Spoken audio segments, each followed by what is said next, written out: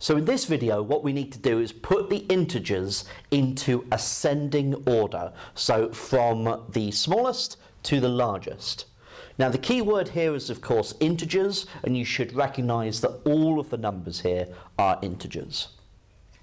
So, first one, nice and basic. Start off with the smallest number, which is 3. So, 3. So you can cross them off as you go if you like.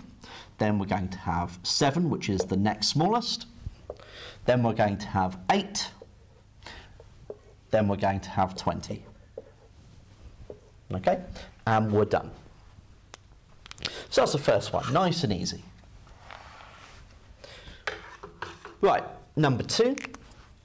Again, find the smallest number first, which is 82. Okay, then the next smallest will be 970.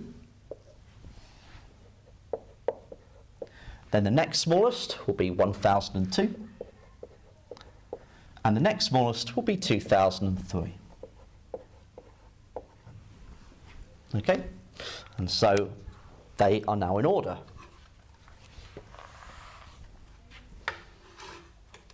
Now for number three, we're going into negative integers here. So, when we talk about negative integers, the smallest is the most negative. Okay, so the smallest here is minus 16. So if you want to, you can think of these as temperatures going from the coldest to the warmest. So minus 16 degrees centigrade is colder than minus 8 degrees centigrade, for example. So minus 16 will be first, then we'll have minus 8. Then we'll have minus 5. Then we'll have minus 2. Okay? And that's the third set of integers put into ascending order.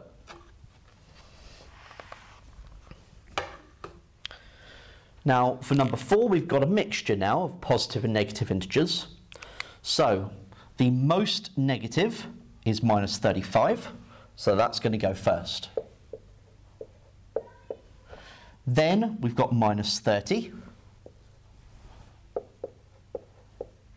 Then we'll have 5. Okay, so once we've got rid of all the negative numbers, then we just go to the smallest number that we've got, 5.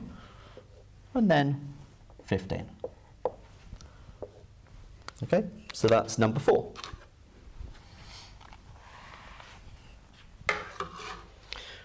Now, last but not least, we've got uh, some positive, uh, some negative three-digit numbers.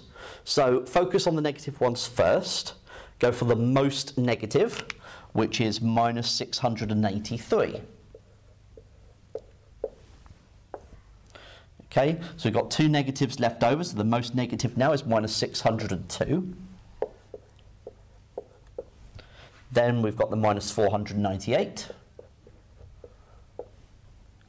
and then we've got 705. Okay? And so then we've put each of these into ascending order.